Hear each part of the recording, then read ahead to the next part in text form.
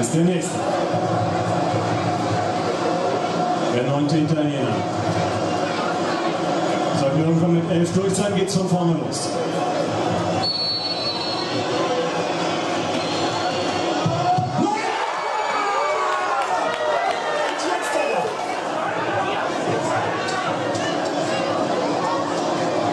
Das heißt, Hector hat jetzt nicht den Druck, den die vorher hatten. Wenn er nicht trifft, geht es zumindest weiter. Aber wenn er trifft, dann